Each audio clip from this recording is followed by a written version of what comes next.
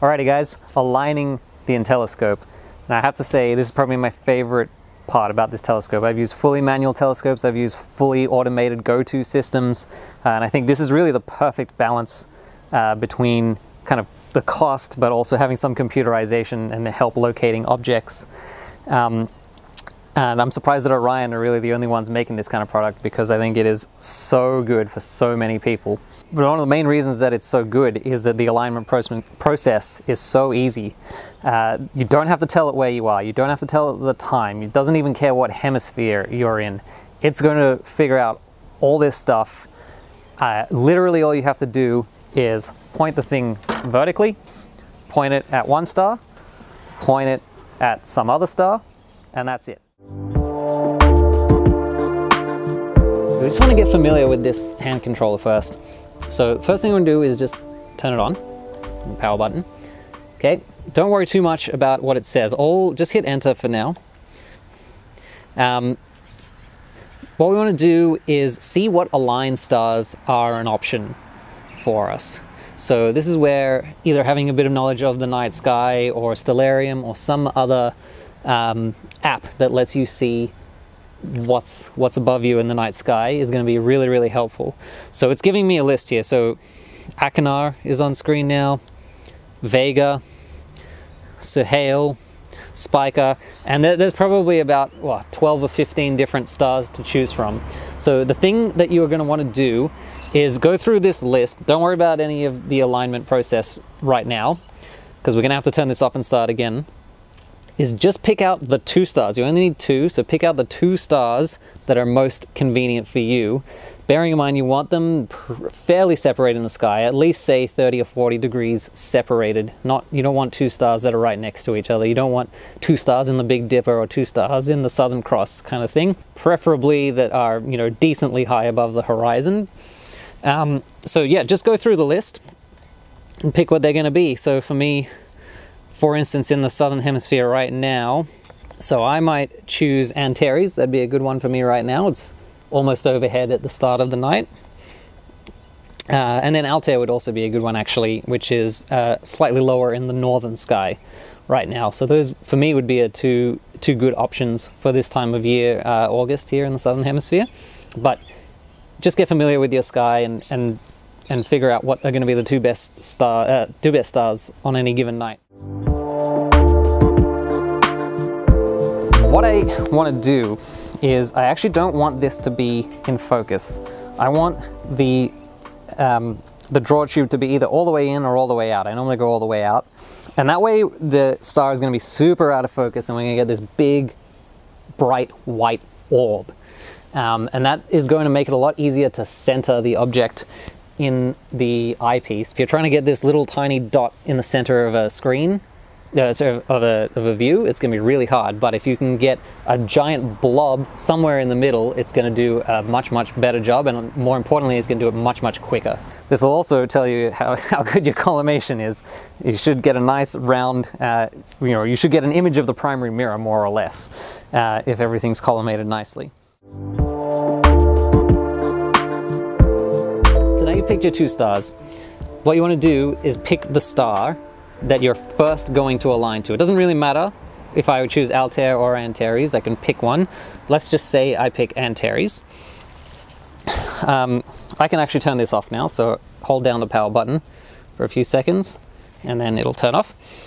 So let's say I pick Antares. What I actually want to do right now is find Antares. So I'll take my lid off. I'm using my Finderscope. I'm centering it let's say that I'm making my fine adjustments and I've found Antares, I've got it in the center.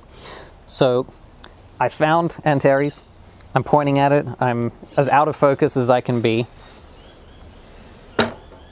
All right, so this is where you want to start being a little bit quick. So we're going to take our hand controller, going to turn it on, power on. Okay, it's going to say press enter, point vertical. It should say point vertical first. Anyway, so um, it's pointed vertical. I'm going to hit enter. Thank you, it says. Now I'm going to pick my alignment star and I got to go through the menu as quick as possible. Antares at least starts with an A, so it shouldn't be too hard to find. Antares, okay, perfect. Now I'm going to find it I don't have to move it left and right because I already did that from before. All I have to do is move it back down to where it was, right? So I'm gonna find it quickly in the finder scope. Yep, happy with that. Check it in the eyepiece, get it centered, that big blob. Perfect, hit enter. All right, uh, and now we're gonna pick the second alignment star. I want Altair, which is right next to it conveniently. So I'm gonna quickly go point to the north, wherever that was. I'm gonna have to find this as quickly as I possibly can. So make sure you know where these stars are ahead of time. Okay, let's say I'm happy with that. Enter, it'll say thank you. And then it flashed on the screen really quickly and went away. It said W minus 6.5. This W number you get is called the warp factor. It's a measure of how accurately you aligned the telescope. The goal here is to get that number between positive 1 and negative 1. And even better yet, positive 0.5 and negative 0.5. So as close to zero as possible. If you get the W value at zero, it means that you are exactly perfectly aligned and every item that you slew to will be directly in the center of the eyepiece. And if you're between 0.5 and minus 0.5, as I said, then the each object that you're looking for should show up somewhere in the eyepiece, uh, at least with the 25 millimeter eyepiece that comes with the telescope.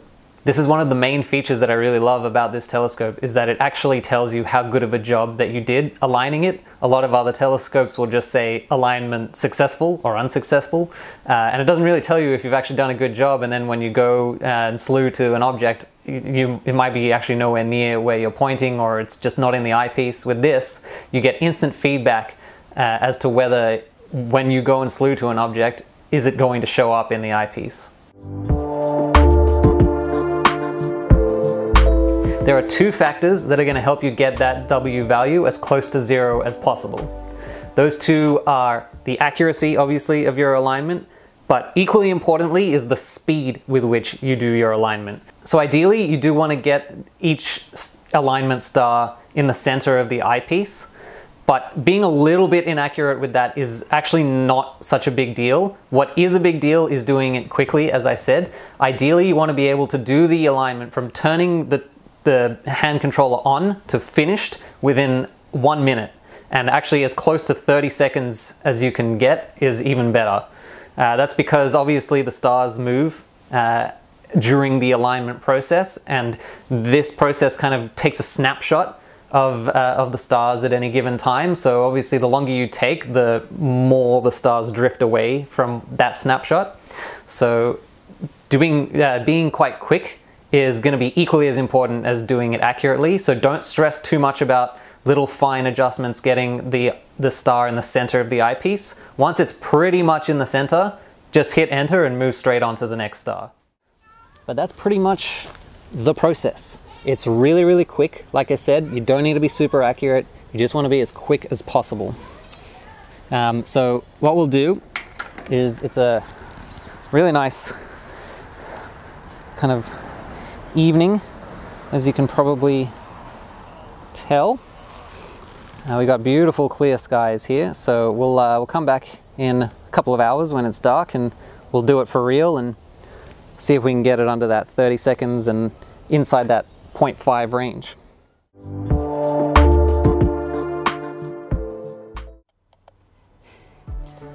Yes, it's vertical.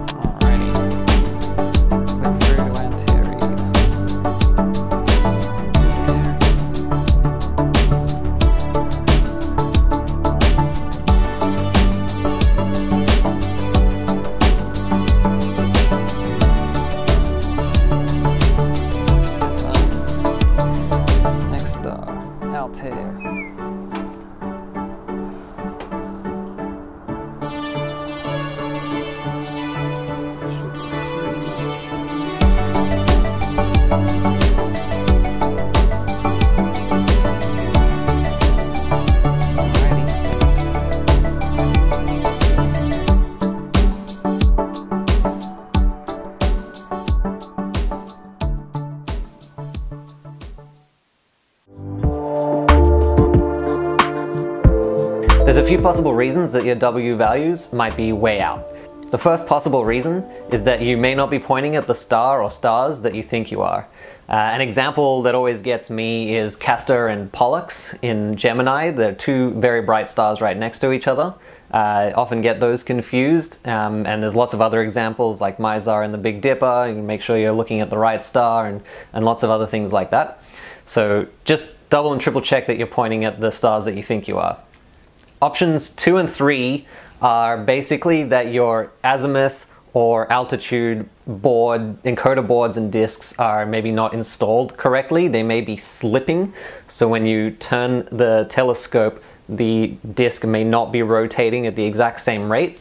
So uh, I have pretty detailed instructions on how to install those correctly in my uh, previous video, so I will link that uh, above here.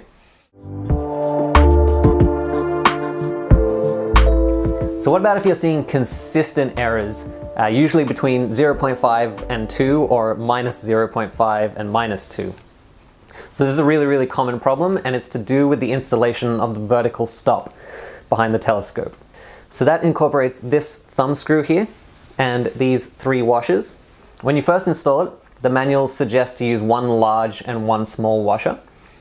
So what I've found is that if you're finding values that are consistently, say between 0.5 and 2, they're like too positive, that means you need to add more washers. So maybe add that third washer in or just try two of the big washers, see what helps for you. Um, if conversely, you're getting numbers between minus 0.5 and minus 2, and you, uh, you know the numbers are too negative, that means you need to take away some washers. So maybe just try the one big one or just the one small one. Uh, you just have to play with that a little bit uh, to see what you get. But if you're getting consistent errors, it's actually a good thing. It's a pretty simple fix. Just play with those washers. Thanks for watching, guys. As ever, if you have any questions, please let me know in the comments below, and I'll definitely get back to you as soon as I can. And uh, good luck with your new telescope.